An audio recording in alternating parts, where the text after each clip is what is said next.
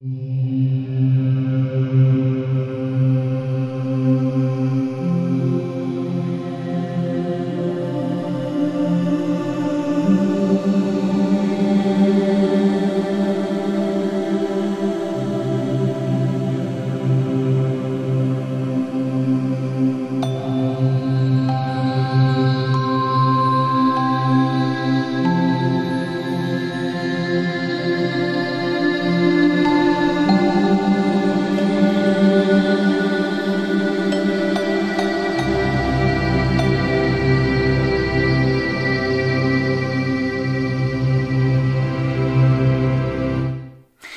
Bonjour à tous mes chers amis et merci de me retrouver dans cette nouvelle vidéo où j'avais envie de partager avec vous des livres, des grimoires, des vrais grimoires de magie. Puisque c'est vrai que lorsqu'on veut se lancer dans la magie, lorsqu'on veut s'auto-initier à la magie, on n'a pas toujours la chance d'avoir eh bien dans nos relations euh, des personnes qui pratiquent ou des personnes qui ont un Cowen et être initiées de cette façon-là. Donc dans la plupart des cas, 80 à 90% des cas, c'est vrai qu'on va s'auto-initier on va très souvent être autodidacte.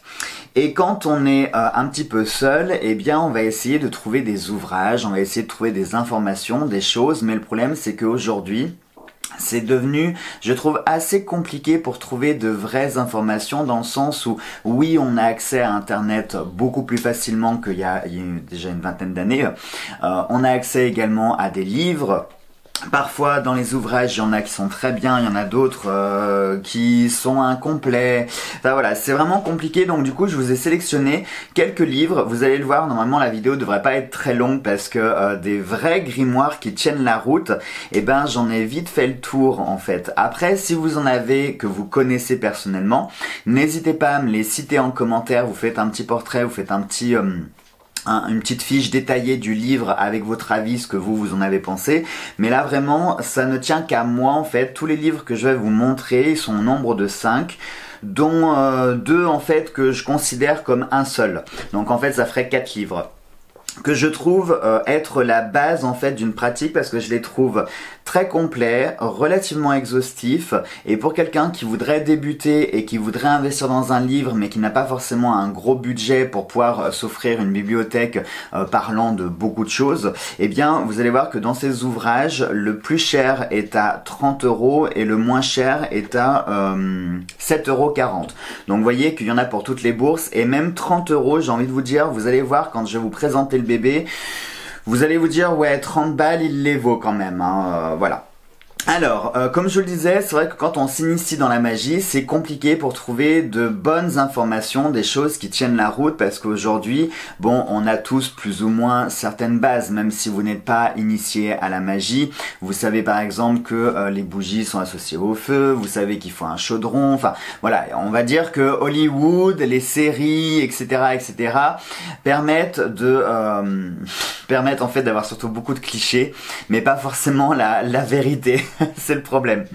Donc là, je vais vous présenter euh, deux ouvrages qui sont mes chouchous avec lesquels j'ai commencé et euh, qui ne me quittent pas. Ils sont assez vieux, euh, oui assez vieux parce que ça fait quand même un moment que je les ai, ces livres, donc ils doivent avoir au moins bien, je dirais au moins bien 15 ans, facile, facile, peut-être même voire 20 ans, je sais pas.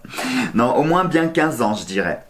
Alors, il s'agit d'ouvrages qui sont en deux parties.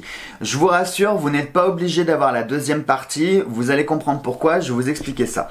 Le premier, il s'agit de celui-ci, le grimoire de l'apprenti sorcier donc c'est d'un mage qui s'appelle Oberon Zel Ravenheart.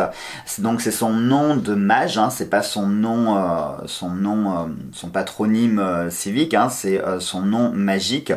C'est un ouvrage qui est assez épais, voire très épais. C'est celui-ci qui est à 30 euros, mais celui-ci vraiment, je l'avais trouvé par hasard. Je sais même plus où est-ce que je l'avais trouvé, parce que quand j'étais adolescent, je faisais beaucoup de librairies, j'adorais me promener dans les librairies, et quand je trouvais des ouvrages, j'avais pas beaucoup de sous en plus. enfin, même quand j'étais jeune, euh, j'avais pas beaucoup de sous, et même aujourd'hui, j'ai pas beaucoup de sous toujours. ça n'a pas beaucoup changé là-dessus. Mais euh, c'est vrai que euh, bah, j'avais pas trop les moyens et je voulais un livre qui soit bien, un livre qui soit relativement complet. Surtout qu'à mon époque, euh, j'ai pas 70 ans, mais je peux vous dire que Internet n'était pas aussi répandu qu'aujourd'hui. C'était compliqué pour avoir accès aux informations. Et euh, hormis les livres, euh, bah voilà, hein, euh, c'était quand même compliqué de pouvoir avoir accès à autre chose. quand je parle, j'ai l'impression d'avoir 80 ans, alors que pas du tout. Ça prouve à quel point quand même la société a évolué, que notre monde a évolué, parce que euh, je vais sur mes 35 ans, et quand je vois il y a 20 ans en arrière, oui, non, Internet n'était pas aussi démocratisé, on trouvait pas les informations aussi facilement. Vraiment, c'était une autre époque il y a 20 ans déjà. Hein, c'était c'était bien différent, hein. même il y a 10 ans, j'ai envie de dire. Euh, même des fois d'une année à une autre, euh, la, vie change. Hein, mais bon, ça c'est un autre sujet. Alors, ce livre, je l'aime beaucoup. Pourquoi? Parce que euh, il va vraiment, je trouve, être un guide complet. Et pour le coup, je trouve que c'est ce qui se rapproche le plus d'un vrai livre des ombres. Vous savez, je vous ai déjà parlé mille fois du livre des ombres, qu'il s'agit de votre journal intime dans lequel vous allez absolument tout consigner, que ce soit vos connaissances occultes, que ce soit votre expérience, vos rêves, vos rituels, etc., etc., etc. Et là, c'est vrai que celui-ci, c'est vraiment celui qui se euh, rapproche le plus d'un vrai livre des ombres, dans le sens où il va y avoir des rituels à réaliser. Il y a aussi beaucoup, beaucoup de connaissances ésotériques sur plein de sujets, puisqu'on va retrouver les anges, les démons, les créatures chimériques. On va retrouver aussi des euh, déités issus de la mythologie. Euh, on nous parle par exemple des titans.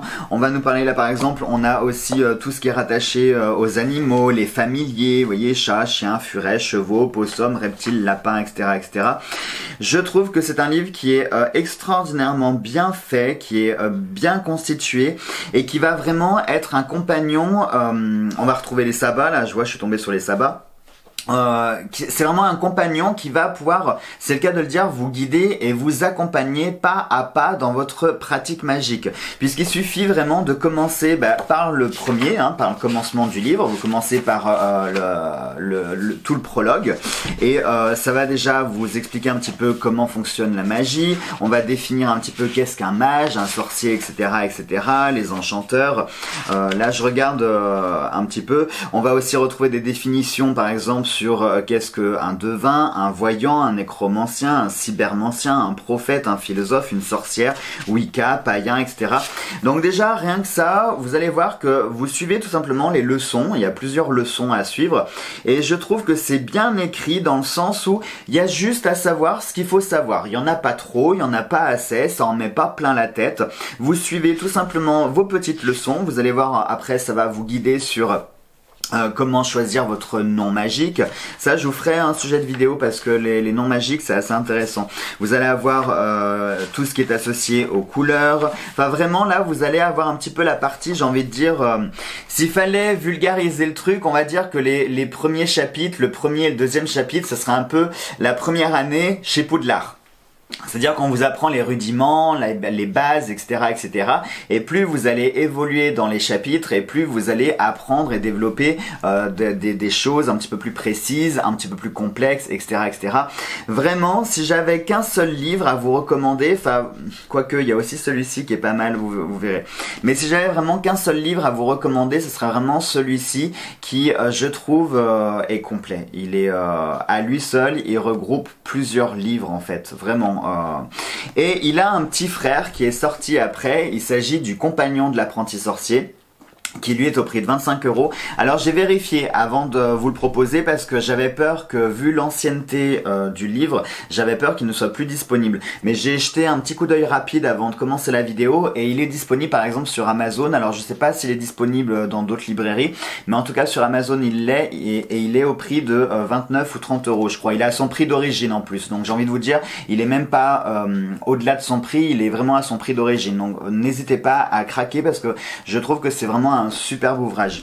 Et vous verrez, je, peux pas tout vous présenter parce qu'il mériterait une review complète en fait. Mais vous allez avoir l'astrologie, il y a aussi sur les cartes, vraiment, vraiment, il y a absolument tout ce qu'il faut savoir. Croyez-moi que vous avez juste ce livre-là et vous connaissez ce livre par cœur, et eh ben je peux vous dire que déjà vous avez un, vous aurez un bon niveau, une bonne culture ésotérique. Vous aurez largement de quoi euh, avoir tous les outils pour pratiquer et vous lancer ensuite, puisque je vous l'ai déjà expliqué, le principe de la magie, de la sorcellerie, c'est avant tout un chemin personnel, c'est un chemin d'évolution et il faut aussi expérimenter. Donc ne vous cantonnez pas en fait à ce qu'on vous dit, c'est-à-dire c'est pas parce que euh, vous l'avez lu dans un livre que c'est la vérité, c'est pas parce que vous l'avez vu sur un site que c'est la vérité, c'est pas parce que euh, Pierre, Paul, Jacques vous a dit que c'était comme ça que c'est la vérité. Non, très souvent ce sont des visions qui sont assez subjectives, qui sont basées sur des ressentis et sur l'expérience personnelle soit de l'auteur ou euh, de l'enseignant.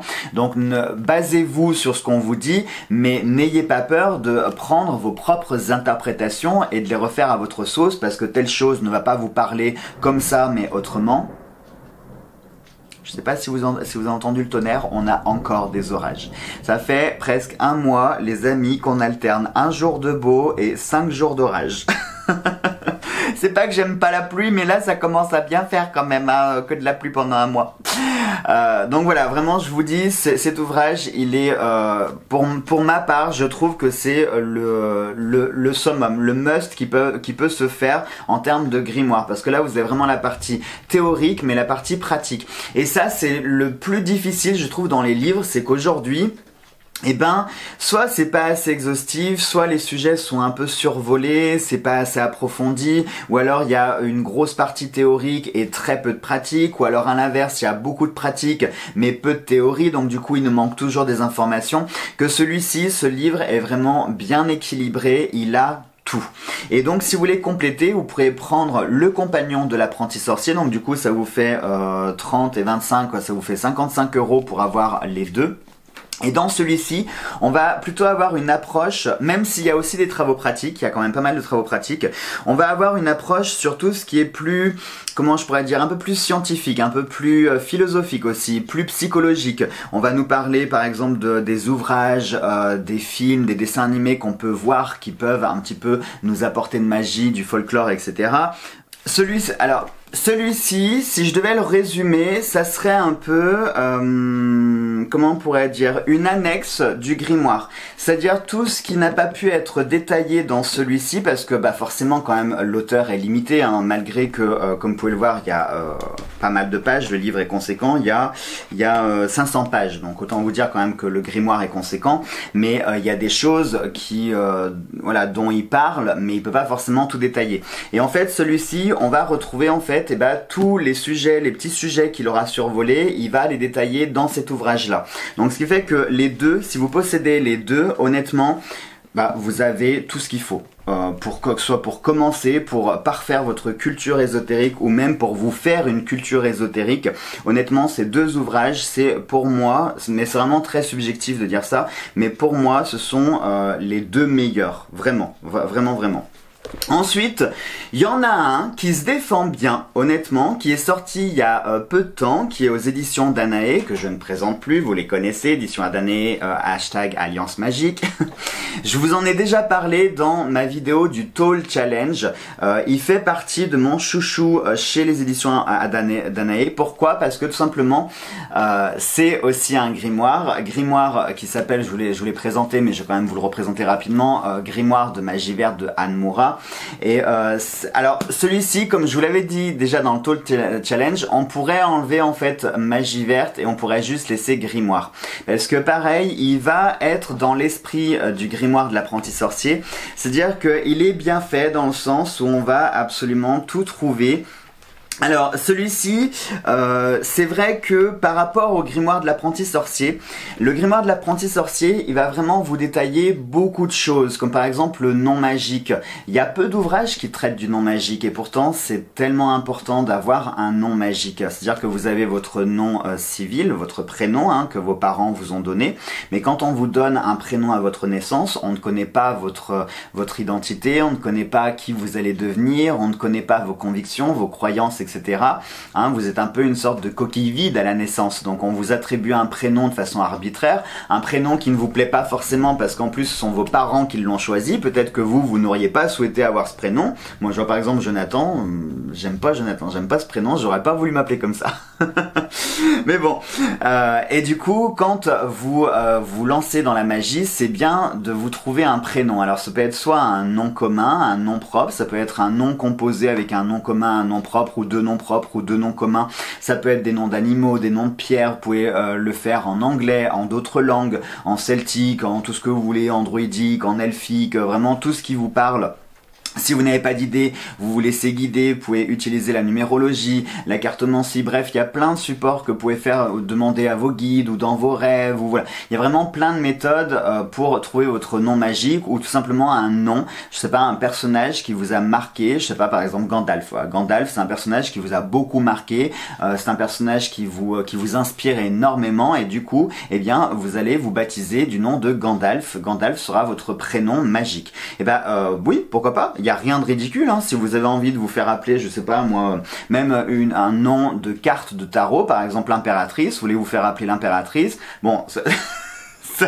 c'est un petit peu prétentieux, mais pourquoi pas, j'ai envie de dire. Euh, il faut vraiment en fait que vous ayez une connexion avec euh, quelque chose qui vous parle et quelque chose qui vous symbolise pleinement. Hein. Mais bon, je vous ferai une vidéo complète sur le, le nom magique, hein, c'est pas le thème. Donc celui-ci, il va être bien aussi, il est assez complet et assez exhaustif dans le sens où vous avez aussi une grosse partie théorique, vous avez beaucoup de pratiques également et c'est vrai que ça va être euh, quand même plus orienté magie naturelle. Et euh, ça c'est euh, très important, je vous ai présenté en fait des grimoires qui sortent de l'ordinaire dans le sens où ce ne sont pas des grimoires qui vont se positionner en faveur d'une pratique ou d'une autre. C'est-à-dire que celui-ci, on va retrouver euh, des bases de druidisme, on va retrouver des bases de chamanisme, on va retrouver plein de choses, des inspirations de différentes... Euh, de différentes pratiques magiques pour en faire euh, faire quelque chose de très éclectique. Et celui-ci ne déroge pas à la règle et il va aussi un petit peu dans ce sens où on va retrouver certaines choses qui sont un peu apparentées au druidisme, au chamanisme, euh, au paganisme classique, à la Wicca, à la sorcellerie, pour en faire quelque chose d'assez éclectique, mais quand même assez tourné vers l'univers de la nature. Et euh, moi j'aime cette pratique, enfin c'est vrai qu'il y a plusieurs pratiques, là aussi je pense que euh, je vous ferai une vidéo sur le sujet pour vous parler des différentes magies qui existent. Par exemple, quelle est la différence entre un chaman, un sorcier et un druide? Est-ce que ce sont trois personnages qui font les mêmes choses, qui croient aux mêmes choses, etc. etc. Bah, je vous apprendrai tout ça. Et, euh, et du coup, c'est vrai que c'est compliqué quand on veut se lancer dans une magie de se dire vers quoi je vais m'orienter. Est-ce que, c'est vrai, je suis bien attiré par les druides, mais finalement je sais pas trop ce que c'est, hormis l'image de Panoramix, je vois pas trop à quoi ça ressemble un druide. Euh, j'ai bien envie de me lancer en tant que chaman, mais c'est vrai que les chamans, euh, moi tout de suite j'ai euh, l'image de l'Indien avec ses plumes, ses totems. Est-ce que c'est ça ou pas? Vous voyez, c'est assez compliqué. Donc du coup, quand on sait pas trop, c'est pour ça que je vous ai sélectionné ces livres-là parce qu'ils vont pouvoir vous fournir des informations qui vont déjà vous guider vers quelque chose. Et à force dans votre pratique, c'est vous tout seul en fait qui allez vous diriger naturellement vers une pratique ou une autre. C'est-à-dire, bah, vous vous allez réaliser que vous êtes vachement plus attiré par euh, tout ce qui est plantes, fleurs, animaux, etc. Et du coup, vous allez rentrer en communion avec et vous allez faire euh, vos rituels qui seront très souvent basés sur euh, les animaux. et donc, du coup, vous allez pouvoir dire, ah tiens, je sens que du coup, je suis plus attiré par le côté chamanisme ou par le côté druidique. Ou alors, moi, je veux vraiment être la folle au chat avec son chaudron qui crache et tout au fin fond de la cabane dans, sa forêt. Donc du coup vous êtes plus sorcière. Bon excusez-moi là j'ai là j'ai fait un gros cliché, vraiment un gros cliché. Mais c'est pour dire euh, si vous ne savez pas, si vous vous lancez, c'est vrai que ça peut être délicat de choisir sa voie.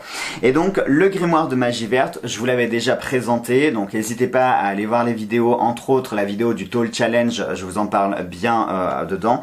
Mais celui-ci, il fait partie de mes coups de cœur dans le sens où enfin on a un grimoire qui traite de tout, à la fois partie théorique, partie pratique. On va retrouver aussi les sabbats. Important, hein, les livres que je vous présente là, ils se suffisent à eux-mêmes, c'est-à-dire que le grimoire de la magie verte, vous possédez que celui-ci, ça suffit aussi très bien. En plus, il est pas cher, il est au prix de 20 euros. Il fait 10 euros de moins que le grimoire de l'apprenti sorcier. Et pareil, il est très complet aussi. Hein. Si vous connaissez tout ce qu'il y a dans ce livre, euh, sincèrement, vous aurez déjà plus qu'un bon niveau euh, pour vous lancer, euh, vous lancer dans la pratique. Et maintenant, je vais vous parler de deux petits livres que j'ai reçus, des petits livres que, que je connais, euh, je les avais déjà feuilletés, mais c'est vrai que je les avais pas dans ma bibliothèque et ils me faisaient bien envie. En plus, c'est un auteur que vous connaissez tous et toutes, qui nous a quittés malheureusement, et c'est bien dommage parce que euh, franchement, c'était un, un homme de savoir, qui avait une grosse connaissance et qui aurait pu encore nous apprendre plein de choses, mais malheureusement, il est parti trop tôt. Il s'agit de Scott Cunningham. Hein, je vous décris pas son portrait a écrit beaucoup, beaucoup, beaucoup d'ouvrages qui tournent autour de l'ésotérisme, que ce soit sur les plantes magiques, que ce soit sur la Wicca, sur le paganisme, sur les éléments, sur la même des recettes de cuisine euh, sorcière. Bref, vraiment, c'était quelqu'un euh, qui était euh, extraordinaire. Et il a sorti plusieurs ouvrages, dont deux que je vais vous proposer, qui sont, je trouve, à la fois complémentaires et à la fois opposés l'un et l'autre. Vous allez comprendre pourquoi. Là, je vous entends déjà me dire, euh, oui mais Jojo, euh, moi je me sens pas vraiment l'âme d'une sorcière, les sabbats, euh, fêter les sabbats, tout ça, oui bon, mais c'est pas un truc qui m'intéresse plus que ça. J'ai pas forcément envie de célébrer les esbats. Alors, il faut faire la différence entre sabbat et esba. Il existe 8 sabbats dans l'année, donc c'est les fêtes majeures, hein, vous savez, avec Ostara, Litha, Samhain, Yule, etc., etc. Et les esbats qui sont des rituels lunaires, c'est-à-dire qu'il y a 13, 12 à 13 esbats dans l'année. À chaque fois qu'il y a une pleine lune, il y a un esbat. Et même parfois, ça peut même doubler parce qu'il y en a qui font le double esba, c'est-à-dire ils font l'esba de la pleine lune et l'esba de la nouvelle lune. Donc il peut y avoir au total 24 à 26 esbats dans l'année et 8 sabbats. Vous imaginez si euh, toutes ces fêtes étaient des jours fériés, et eh ben franchement...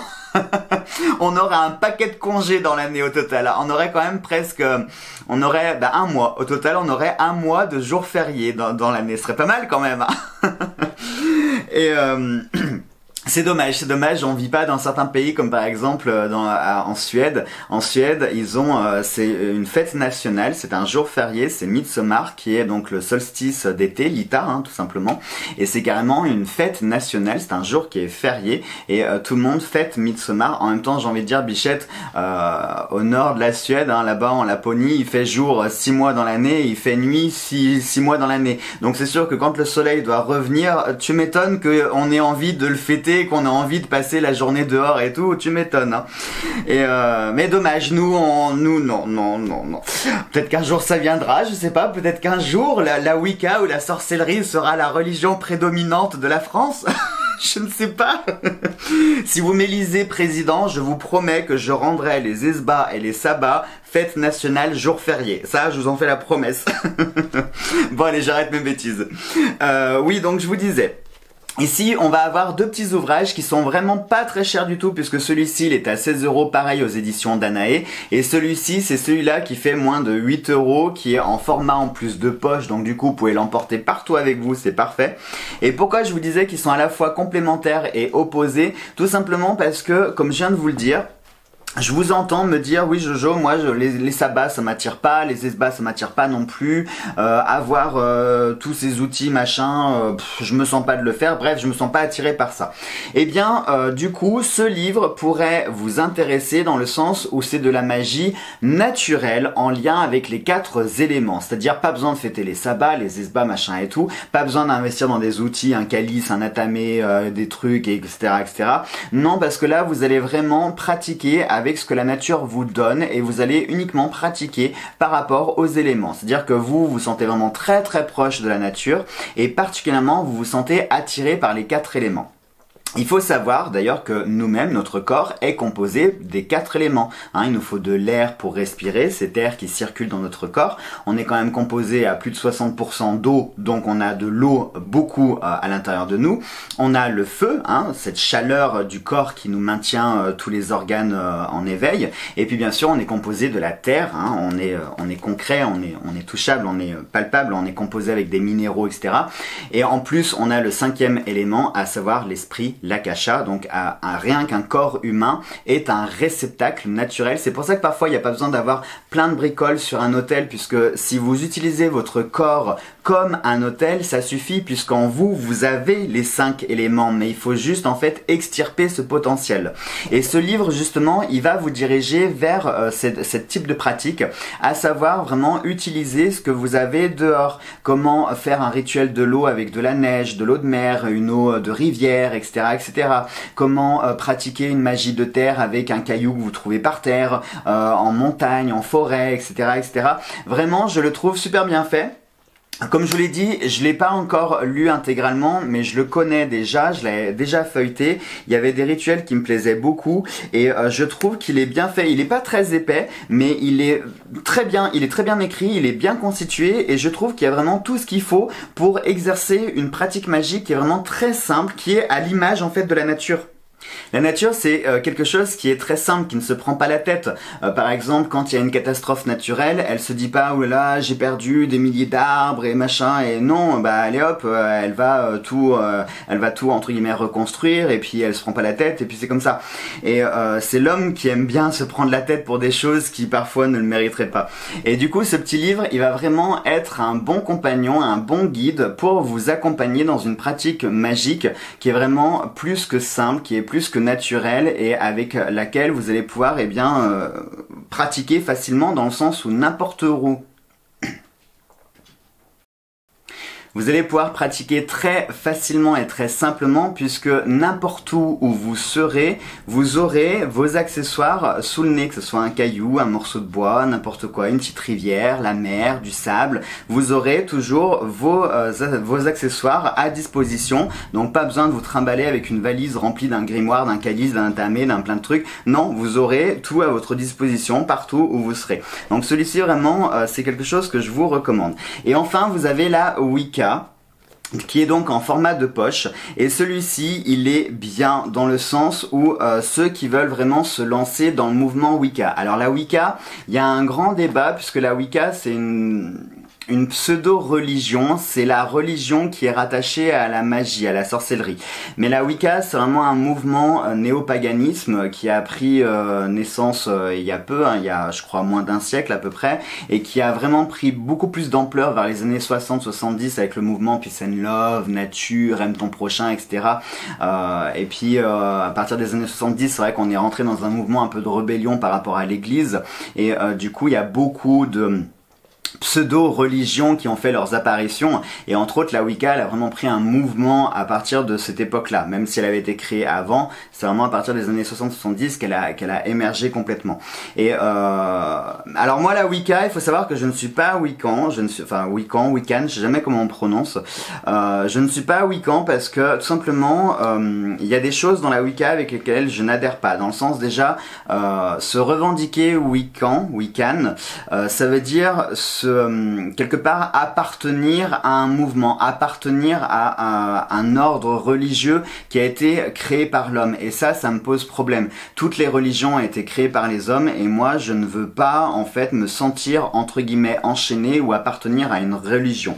Moi, j'appartiens à la nature. Je suis un enfant de Gaïa. Je suis euh, rattaché à ma terre et je suis pas rattaché à ce que les hommes euh, font. Voilà, ça ne m'intéresse pas ce que les hommes créent, ce que les hommes font. Et du coup, je ne veux pas me sentir rattaché à ça. Mais ça, ça n'engage que moi de dire ça, qu'on soit bien d'accord. Hein. Si vous vous sentez attiré par la Wicca, si vous avez au fond de vous la conviction de croire au Dieu et à la déesse, c'est euh, votre conviction. Jamais je ne viendrai juger, jamais je ne viendrai porter un regard critique sur votre conviction. Non, non, pas du tout. Hein. Ça n'engage vraiment que moi de dire ça. Et du coup, ce petit livre, il est bien parce qu'il va vous offrir je trouve une jolie petite initiation à la Wicca avec on va retrouver à l'intérieur donc euh, les petits euh, tous les petits accessoires qu'on va utiliser. Euh, on va retrouver quelques bah tiens là par exemple je viens de tomber sur la magie des couleurs. Il est il est vraiment bien fait. Il est bien fait en plus comme c'est un format de poche du coup vous pouvez l'emporter partout. Il est très facile à lire malgré qu'il y ait 300 pages. Attendez parce que là je suis dans les ouais, on va s'arrêter là dans les lectures suggérées. Donc on va dire, ouais, il y a 300 pages. Euh, là par exemple, je vois, tiens, il y a un petit, il y a un petit index, pas un index, comment on appelle ça, un glossaire. Il y a un petit glossaire.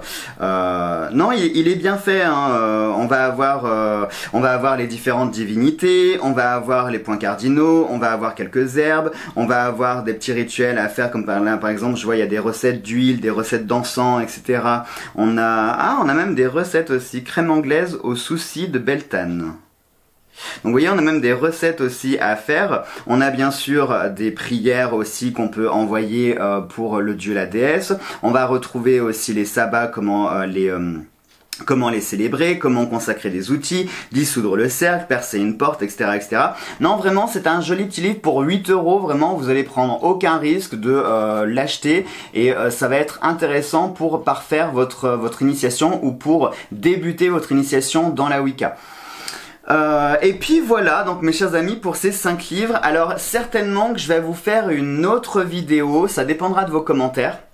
Est-ce que vous voudriez, est-ce que vous seriez intéressé pour découvrir d'autres livres qui seraient dans le type de grimoire comme ça, mais qui seraient orientés vers des pratiques un petit peu plus spécifiques, comme par exemple le druidisme? Est-ce que c'est quelque chose qui vous intéresserait? Est-ce que le chamanisme c'est quelque chose qui vous intéresserait? Et auquel cas, je vous ferai une autre vidéo pour vous diriger, pour vous parler plus en détail du chamanisme, du druidisme et de la sorcellerie. On va dire les trois voies principales. Enfin, on pourrait même rajouter, enfin, du coup, la sorcellerie pourrait se diviser avec la Wicca aussi. Mais on va dire les trois voies principales, druidisme, chamanisme et sorcellerie. Voilà.